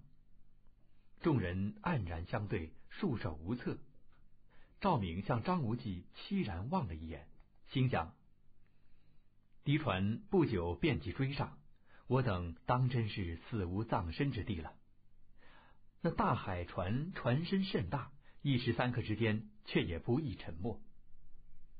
忽然之间，戴启思叽里咕噜的向小昭说起波斯话来，小昭也以波斯话回答。两人一问一答，脸上神色变幻不定。只见小昭向张无忌瞧了一眼，双颊晕红，甚是腼腆。戴启思却厉声追问，两人说了半天，似乎在争辩什么。后来戴启思似乎是在力劝小昭答应什么，小昭只是摇头不允，忽向张无忌瞧了一眼，叹了口气，说了两句话。戴启思伸手搂住了小昭，不去吻他。两人一起泪流满面，小昭抽抽噎噎的哭个不停，戴启慈却柔声安慰。张无忌、赵敏、周芷若三人面面相觑，全然不解。赵敏在张无忌耳边低声说道：“你瞧，他二人相貌好像啊。”张无忌一领，只见戴启思和小昭都是清秀绝俗的瓜子脸。高鼻雪肤，秋波流慧，眉目之间当真有六七分的相似。只是小昭的容貌之中，波斯胡人的气息只余下淡淡影子。戴启思却一见便知不是中土人士。他立时想起苦头陀范瑶在大都小酒店中对小昭所说的那两句话：“真相，真相。”原来所谓真相，乃是说小昭的相貌真像紫山龙王。那么小昭是戴启思的妹妹吗？是他的女儿吗？张无忌跟着又想起杨逍、杨不悔父女对小昭的加以提防。每当问到杨逍何以对小昭这么一个小姑娘竟然如此忌惮，自当大敌，他却又语焉不详。这时方是明白，原来杨逍也已瞧出小昭的容貌和紫山龙王颇为相似。只是并无其他佐证，又见张无忌对他加以回护，是以不便明言。至于小昭故意歪嘴歪鼻，苦心扮成丑女模样，其用意更是昭然若揭了。突然之间，他又想起了一件小事：小昭混上光明顶去干什么？他怎么知道密道的入口？那定是紫山龙王要他去的。用意显示在盗取乾坤大挪移心法。他做我小婢相伴即已两年，我从来对他不加防备。这个心法他早已看过，此后要再抄录一通，当真亦如囊中取物。哎呦，我知道她是个天真浪漫的小姑娘，哪料到她如此工于心计。我这两年来如在梦中。一直坐在他的湖中，而丝毫不觉。张无忌啊，张无忌，你一生亲信，实受人鱼。今年这小小丫头也将我玩弄于股掌之上。想到这里，不禁大是气恼。便在此时，小昭的眼光向他望了过来。张无忌见他眼色中柔情无限，实非作伪，心下又怦然一动，想起光明顶上对敌六大派时。他曾舍身相护自己，两年来他细心熨贴的服饰，绝不是能事事相惜的。莫非冤枉了他？正子迟疑，船身剧烈一震，又沉下了一大截。戴启思道：“张教主，你们各位不必惊慌，待会儿波斯人的船只到来，我和小昭自有应付之方。”紫山龙王虽是女流之辈，也知一人做事一人当，绝不至连累各位。张教主和谢三哥待我义重如山，戴启思这里谢过了。说着，盈盈拜倒。张无忌和谢逊急忙还礼。君想，这些波斯人行事歹毒，待会儿定当将他抓去烧死，也不会放过了咱们。坐船渐渐下沉，舱中进水。张无忌抱起殷离，周芷若抱起赵敏，个人爬上了桅杆。小昭忽向东方一指，哭出声来。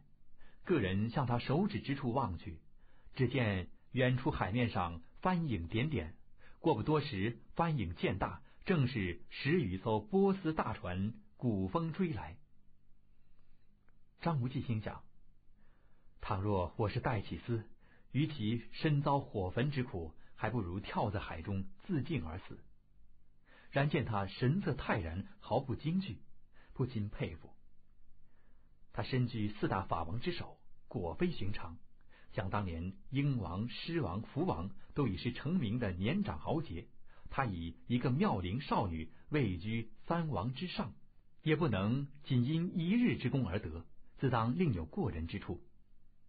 眼见波斯群船渐渐驶近，又想：我得罪珠宝树王不小，既然落入他们手中，也不盼望再能活命。只是如何想个法儿？护的义父和赵姑娘、周姑娘表妹他们周全。小赵，小赵，嗨，宁可你对我不义，不可我待你不仁呐！只见十余艘波斯大船渐渐驶近，船上炮口一起对准了沉船的桅杆，驶到离沉船二十余丈处，便即落帆下锚。只听得智慧王哈哈大笑，得意非凡，叫道：“尔等降不降了？”张无忌朗声道：“中土义士，宁死不屈，岂有降礼？是好汉子，便武功上决一强弱。”智慧王笑道：“大丈夫斗智不斗力哉？快快束手待擒焉。”戴启思突然朗声说着几句波斯话，瓷器极是严正。智慧王一怔，也答以几句波斯话。两人一问一答，说了十几句话。那大圣王也结嘴相询，又说了几句。大船放下一艘小船，八名水手划桨驶了过来。戴启思说道：“张教主，我和小昭先行过去。”请你们稍待片刻。谢逊厉声道：“韩夫人，中土明教待你不薄，本教的安危兴衰寄于无忌一人之身。你若出卖我们，谢某命不足惜。要是损及无忌豪霸，谢某纵为厉鬼，也绝不饶你。”戴启思冷笑道：“你一儿是心肝宝贝。”我女儿便是瓦石尘泥了。说着，挽了小昭之手，轻轻一跃，落入了小船。八名水手挥桨如飞，划向波斯大舰去了。个人听了他这两句话，都是一怔。赵敏道：“小昭果然是他的女儿。”远远望见戴启思和小昭上了大船，站在船头和珠宝树王说话。自己坐船却不住的下沉，桅杆一寸一寸的低下。谢逊叹道：“非我族类，其心必异。无忌孩儿，我识错了韩夫人，你识错了小昭。无忌大丈夫能屈能伸，咱们暂忍一时之辱，再行事机逃脱。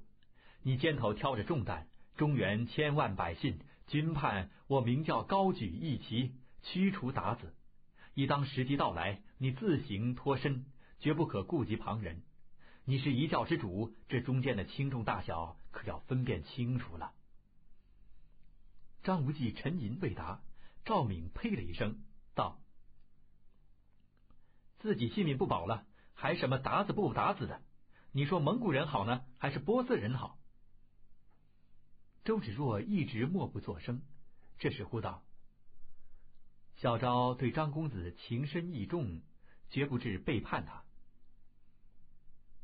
赵敏道：“你不见紫山龙王一再逼迫他吗？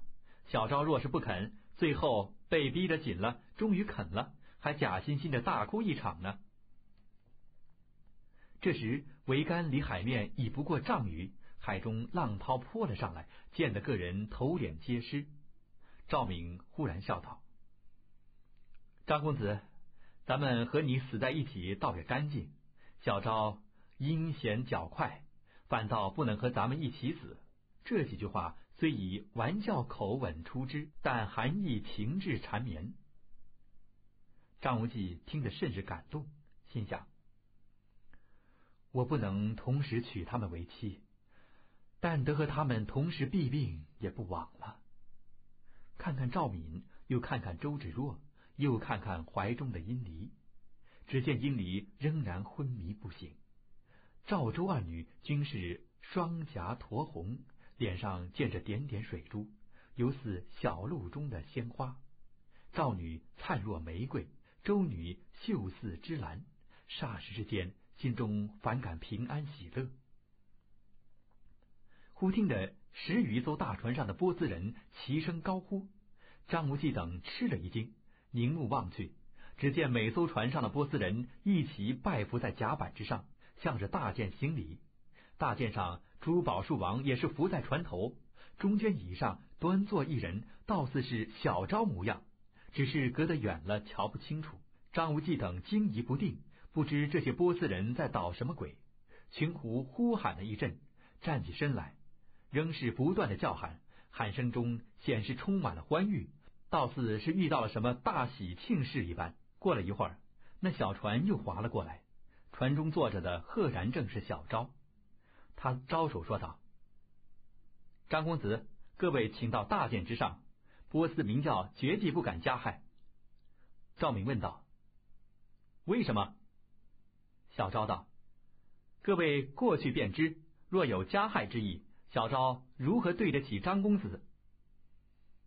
谢逊呼道：“小昭，你做了波斯明教的教主吗？”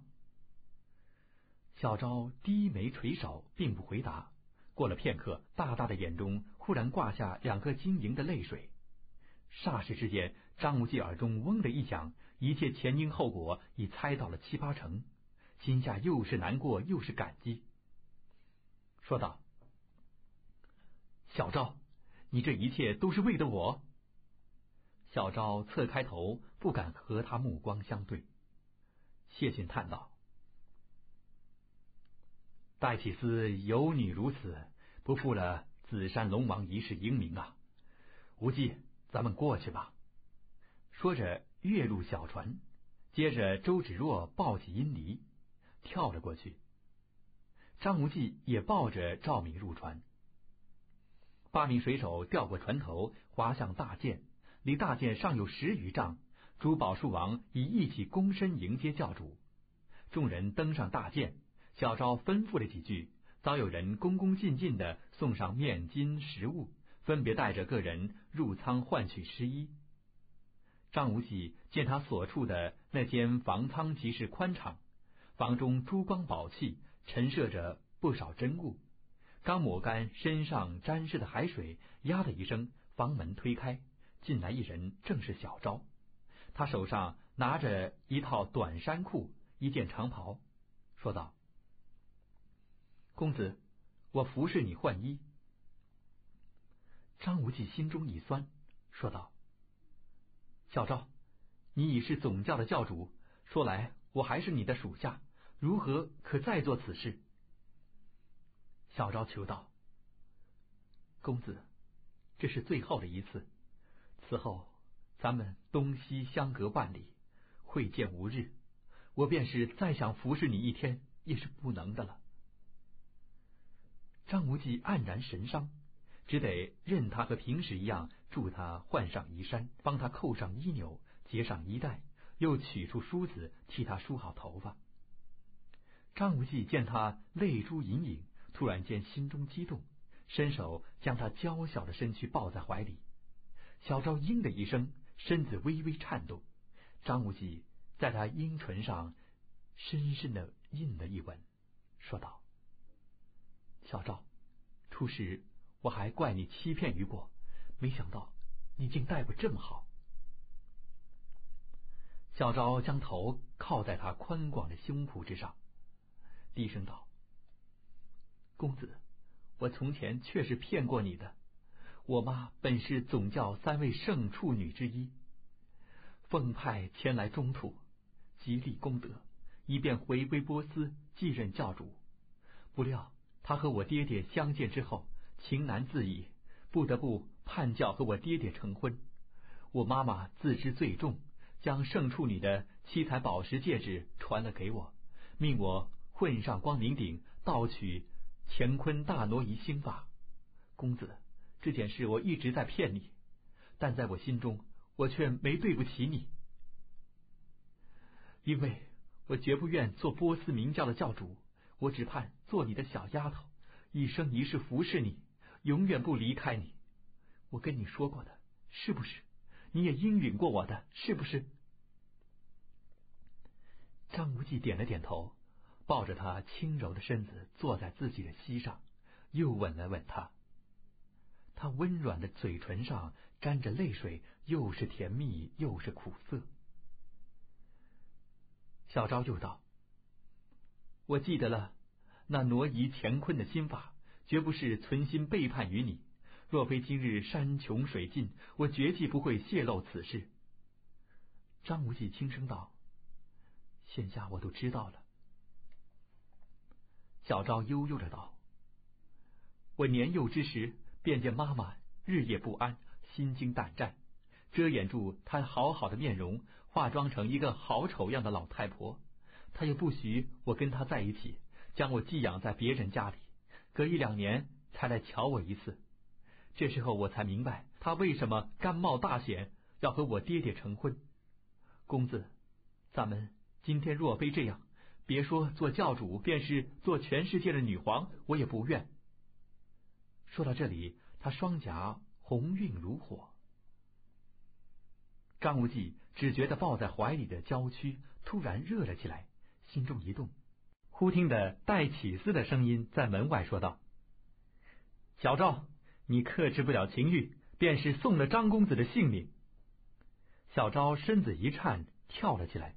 说道：“公子，你以后莫再记着我了。殷姑娘随我母亲多年，对你一往情深，是你的良配。”张无忌低声道：“咱们杀将出去，擒得一两位宝树王，再要挟他们送回灵蛇岛去。”小昭凄然摇头道：“这次他们已学乖了。”谢大侠、殷姑娘他们身上，此刻均有波斯人的刀剑相加，咱们稍有异动，立时便送了他们性命。说着，打开了舱门，只见戴启思站在门口，两个波斯人手挺长剑站在他的背后。那两名波斯人躬身向小昭行礼，但手中长剑的剑尖始终不离戴启思的背心。小昭昂然指至甲板。张无忌跟随其后，果见谢逊等人身后均有波斯武士挺剑相携。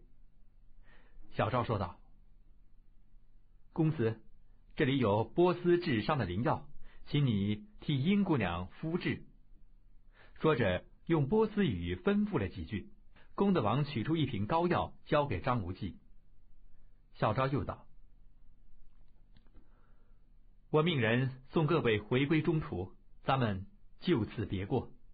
小昭身在波斯，日日祝公子福体康宁，诸事顺遂。说着，声音又哽咽了。张无忌道：“你身居虎狼之域，一切小心。”小昭点了点头，吩咐下属备船。谢逊、殷离、赵敏、周芷若等一一过船。小昭将屠龙刀和倚天剑都交还给了张无忌，凄然一笑，举手作别。张无忌不知说什么话好，呆立片刻，要入对船。只听得小昭所乘的大舰上号角声呜呜响起，两船一齐扬帆，渐离渐远。但见小昭敲立船头，怔怔的向张无忌的坐船望着。